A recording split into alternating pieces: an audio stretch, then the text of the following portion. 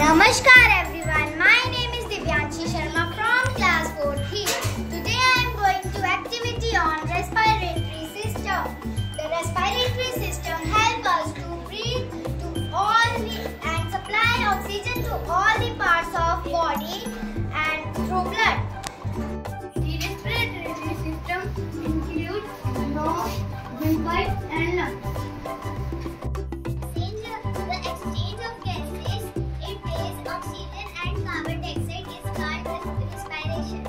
Thank you have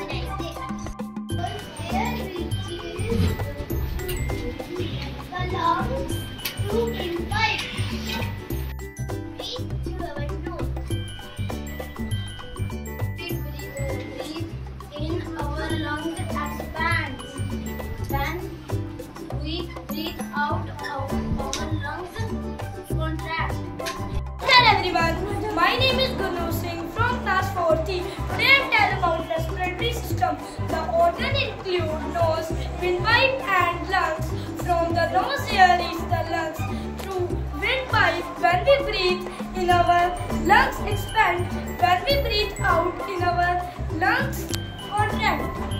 Our right lungs has three lobes and our left lungs has